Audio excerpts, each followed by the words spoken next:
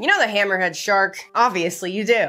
The group of sharks named such for the hammer-like nature of their head. Objectively, it looks like some weird alien prehistoric shit that should have been lost to time, but hasn't. And I have some questions about it. The big one, why? Evolutionarily. At first glance, it doesn't make sense. But it turns out, these aren't the only hammerheads that have been found in nature. So today we're gonna try to answer how the evolution allowed the hammerhead to happen. Let's get the general information out of the way by first figuring out what the fuck I'm actually talking about. The hammer shape has appeared in many different animals for many different reasons and at many different times. Makes sense. It's a very simple shape that eventually took the form as a very simple tool. A tool that humans and our ancestors have been using in its simplest form since like 3.3 million years ago. But of course, that was really just a rock that was used to hammer shit. Didn't have that recognizable hammer shape we know and love today. That came maybe 32,000 years ago. And since then, the hammer as a tool has developed with different materials, different shapes, till eventually the hammer you probably have in your home looks something like this. Very avant-garde, all things considered. But when you think of a hammer in its simplest form, strip away the bells and whistles, you probably think of a shape more like a mallet, a sledgehammer, a club hammer, perhaps. Obviously, a hammerhead shark definitely looks more like this than this. So that's the shape I'm talking about. Now I'm gonna get more specific, because you can identify hammers everywhere in nature. Exhibit A, that fuck-ass prehistoric ungulate that looks like it has a hammer for a nasal horn. Megacerops. And eh, the vibe is kind of there, but it really looks more like a slingshot. And also, that's not what I'm talking about. Exhibit B, the hammerhead bat. Definitely has the density and snout shape of a hammer, but I don't want this. I want this. Same thing with the hammerhead bird, or the hammerkop. Although its head is literally the same shape as a household hammer, this is not the shape we're talking about. I want this, and eyes at the ends. Hammerhead shark etc.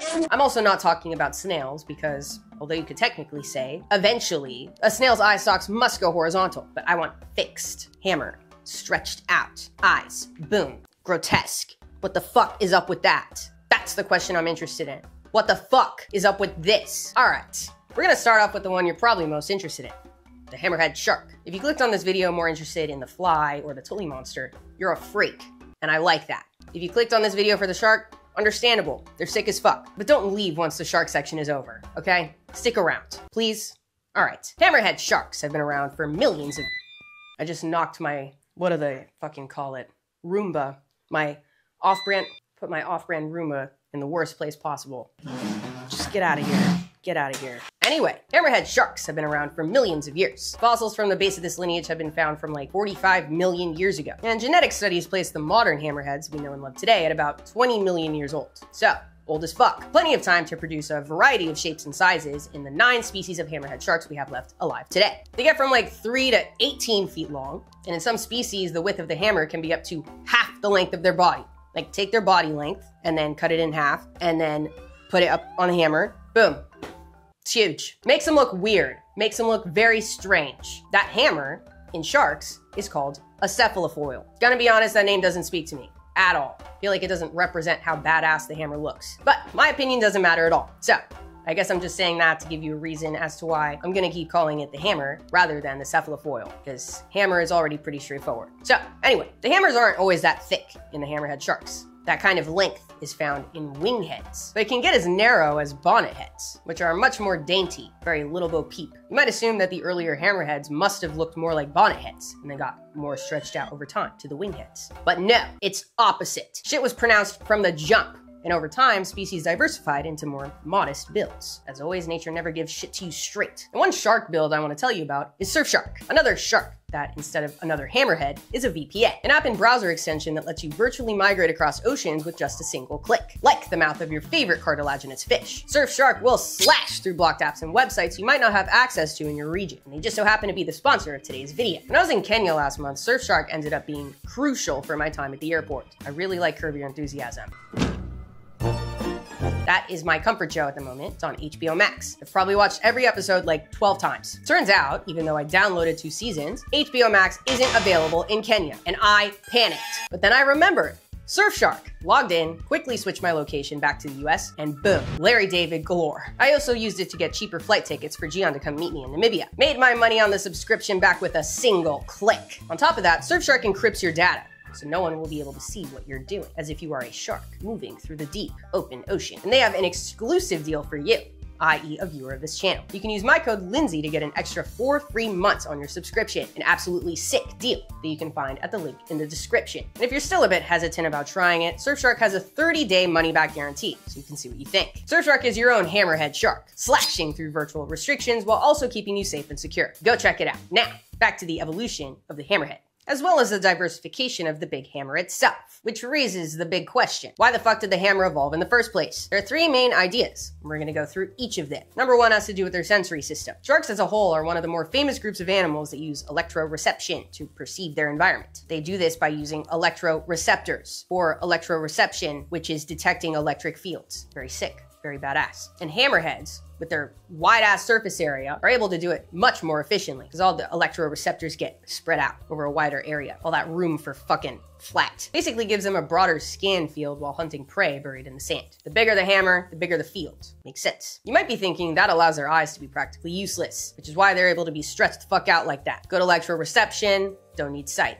But no, that's wrong. Despite this filthy setup, it actually gives hammerheads a nearly 360 degree field of vision, something your Latin grandmother can only dream of having. The second idea has to do with prey handling, but this is specific to specific hammerheads. So some species, like scalloped hammerheads, love to go after stingrays. Turns out, a big, flat head is perfect for shoving a stingray down into the sea floor, pinning it while you go in for a bite. Can't go anywhere if the head holding it down is all flat, spread the fuck out. And the third idea is movement. There's been this idea floating around that the hammer acts like a wing that helps with maneuverability or gives the shark extra lift while swimming. Scientists tested this using fluid dynamics models, and the results were mixed. When a hammerhead is swimming straight, the lift from the hammer is not really there. actually, the drag sucks, up to 10 times more than normal shark heads. So you're paying a big energy cost to push that flat face through the water. But things get interesting when the shark raises or lowers its head. Creates a pressure differential above and below the hammer, which helps the shark pitch its head up or down really fast. Like that. That snap movement is ideal if you're chasing quick fish and other prey. Some researchers also found that the awkward front heavy hammer shape might help prevent banking into turns so the shark stays level, even when whipping around on the sea floor, not smacking your face into sediment. It turns out inside their heads, they've got these extra muscle groups that most other sharks just don't have. They wrap around the spine, let them raise and lower their heads with force, something other sharks can't do,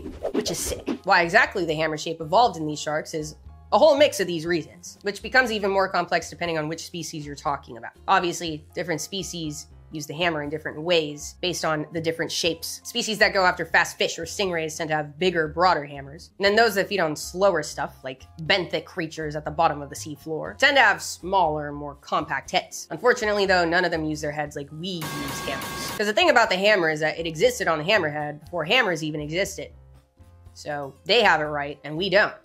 I guess. It's just the way the cookie crumbled. All right, the next hammerhead on the list is a bit more unusual. Matter of fact, it's a complete and total freak the hammerhead fly. This is one weird bitch. Found throughout the neotropics, your Central and South America, your Caribbean islands, even your southern United States. There are three species of hammerhead flies. They belong to the genus Plagiocephalus, which roughly translates to slanted head. That is dead on. This fly is slanted, twisted, and obscene. Hammerhead flies belong to a larger group of flies called the diopsids, stalk-eyed flies. Yeah, just look grotesque in general. Have all sorts of sick configurations. When I say sick, in this case, I don't mean cool. Usually I mean cool, but in this case, I mean sick and twisted. This is sick and twisted. So it's not surprising that in their form experimentations, a couple of them went full 180, spread the fuck wide open, hammerhead, stick. One of the hammerhead species can have eye stalks five times the length of their body. That is sick and twisted. So what is this? What's up with this? Well, this seems to be a different story than the hammerhead sharks, as you would probably guess. The hammerhead flies, and stalk-eyed flies in general, are not interested in electroreception. Instead, sexual selection. Yeah, the ladies love this shit. Hubba hubba, who's the beefcake? Unlike pretty much all other flies, these stalk projections are a male thing. This is just guy stuff, cool guy stuff. Bigger stalks equals more chicks. And when two males meet, they size each other up, spread out their stalks and their front legs to look as massive as possible. And the guy with the smaller stalks usually backs off. That's what she said. Or will get little man syndrome and try to knock the bigger guy over. But in general, usually backs off if he knows what's good for him. Cause yeah, the ladies like them big and flashy.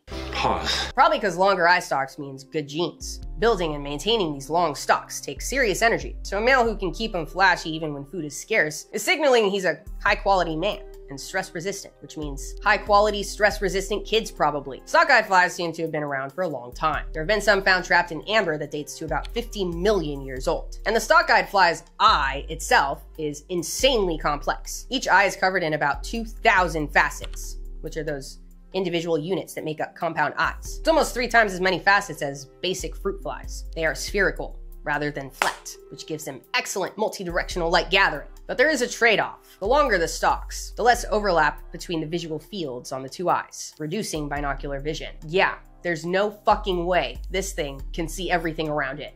I'm sorry. Also, on top of that, those elongated stalks make flying much more difficult. They can't turn nearly as sharply as short-stalked cousins. Stalk-eyed flies max out at about 860 degrees per second in turning speed, while other flies hit over 2,000.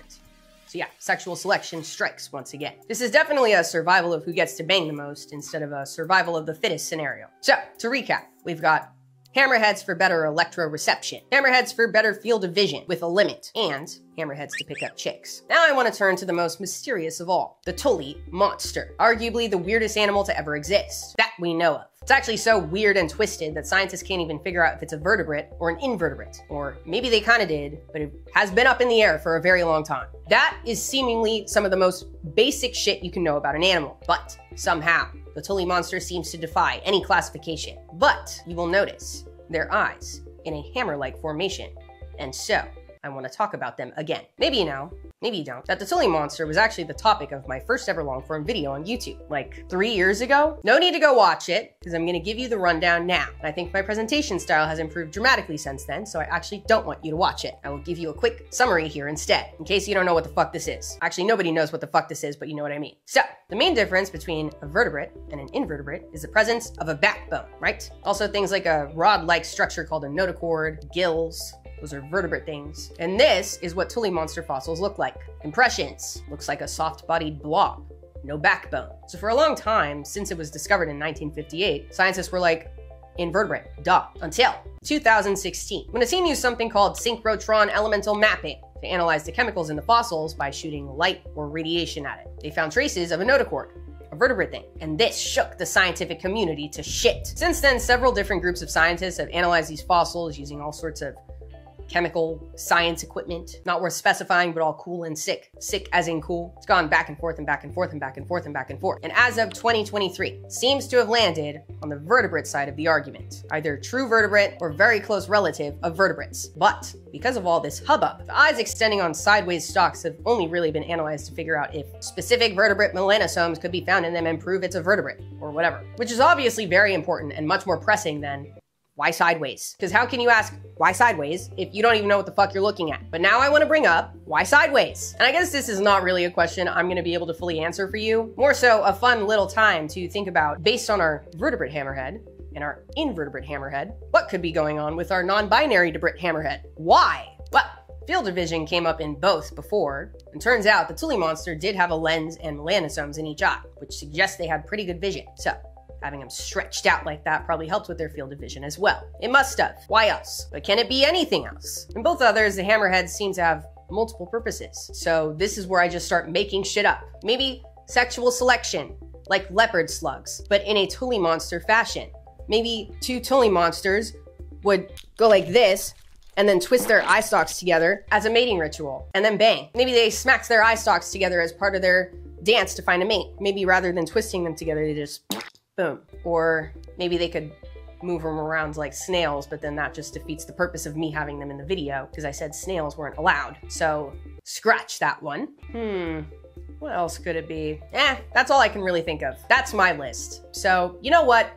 Come up with your own ideas of why the Tully monster had sideways eye stalks like a hammerhead, and let me know in the comments. And make it weird. I want it weird. I want to hear some weird shit. Please. Indulge in a little cannabis if you want to make it sick and twisted. And if you like this video, be sure to subscribe so you don't miss the next episode of Extinct, where I got a lot of my favorite extinct animals tattooed on me. Like, mm, whatever, cut that. Check out my Patreon for behind the scenes updates and our Discord server. Thanks to Surfshark for sponsoring this video. But for now, stay curious. The world has a lot for us to learn. See ya!